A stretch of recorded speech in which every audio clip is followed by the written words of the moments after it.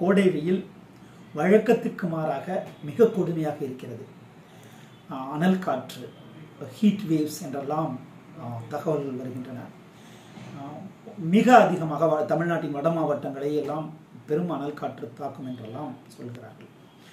இதை கண்டு மனிதர்கள் பயந்து கொண்டிருக்கிற நேரத்தில் நம்மை சுற்றி இருக்கிற உயிர்கள் பறவைகள் காட்டுயிர்கள் அவைகளும் பரிதாபத்திற்குரிய நிலைமையில் இருக்கின்றன. அண்மையில் பார்க்கிறோம் சில யானைகள் மகவு ஈன்ற யானைகள் குட்டி ஈன்ற யானைகள் இறந்து போகின்றன. இவையெல்லாம் இந்த கோடையின் கொடுமை தான் முக்கியமான காரணம். இ- இதை மனதில் வைத்துக்கொண்டு மனிதர்கள் நாம் நாம் இது இந்த இந்த புவி வெப்பமயமாதல் அனல் காற்றுக்கெல்லாம் மனிதர்கள் தான் காரணம். ஆனால் பாதிப்புக்கு யாதும் எதுவும் தவறு செய்யாத சிற்றுயிர்கள் அவை பாதிப்படைகின்றன. நாம் தனிப்பட்ட முறையில் குறைந்தபட்சமாக நாம் கட்டியிருக்கிற வீடுகள் எல்லாம் பெரும்பாலும் ஒரு காலத்தில் காடாகவும் வயல்வெளியாகவும் இருந்த இடங்கள் தான். அங்கெல்லாம் பறவைகள் வாழ்ந்தன. அந்த இடங்களில் மிச்சம் இருக்கிற பறவைகளுக்கு இந்த கோடையில் தனி வெயில் தெரிய கொஞ்சம் தண்ணீர் வைப்போம். ஒரு நிழலான இடத்தில் பறவைகள் வந்து அறியக்கூடிய இடத்தில் தண்ணீர் வைத்தால் அவை தாகம் தணிக்கும் கொஞ்சம் உடமை குளுமையாக்கிக் கொள்ளும். எங்கெல்லாம் வாய்ப்பு கிடைக்கும் போது அங்கெல்லாம் அதை வைக்கலாம்.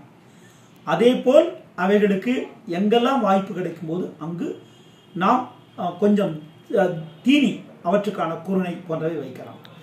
இது நம் வீடுகளில் நகரத்தில் வீடுகளில் வைப்பது. காடுகளை பொறுத்தளவில் நம்மால் எதுவும் செய்ய முடியாது என்றாலும் வனத்துறை ஆங்காங்கே பெரிய உயிர்களுக்கான தண்ணீர் தொட்டிகளை கட்டி தண்ணீர் ஊற்றுகின்றன.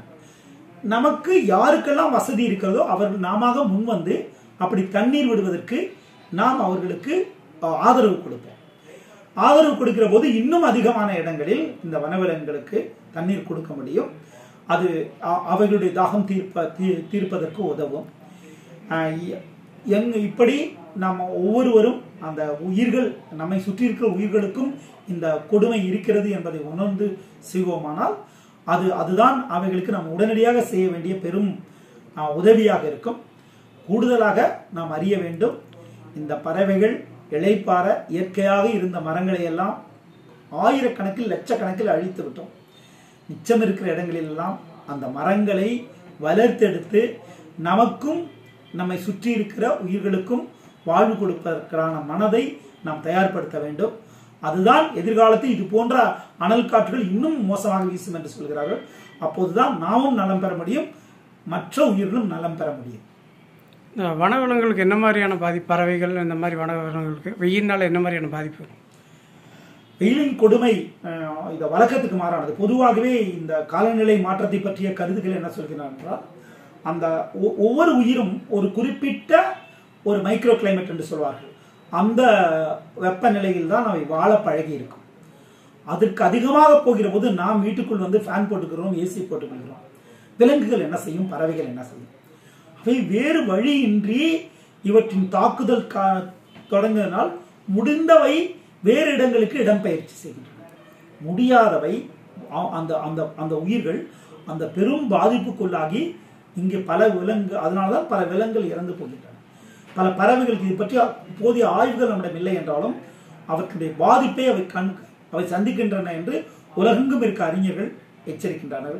சில உயிரினங்களே இல்லாமல் போகக்கூடிய ஆபத்து இந்த காலநிலை மாற்றத்தினுடைய விளைவாக ஏற்படுகிறது. ஏனென்று கேட்டால் இந்தியாவை பொறுத்தளவு டாக்டர் சாலிம் அலி அவர்கள் பறவைகளை பற்றி ஆய்வு செய்கிற போது ஒரு குறிப்பிட்ட உயரத்தில் மட்டுமே காணப்பட்டதாக சொல்லப்பட்ட பறவைகள் எல்லாம் அதைவிட அதிகமான உயரத்தில் இப்ப காணப்படுகின்றன. காரணம் வெப்பநிலை உயரும் போது கு- குளிர்நிலையை நோக்கி அவை மேலே போகின்றன. அப்படியானால் உச்சியில் இருந்த விலங்கினங்கள் என்ன செய்யும்?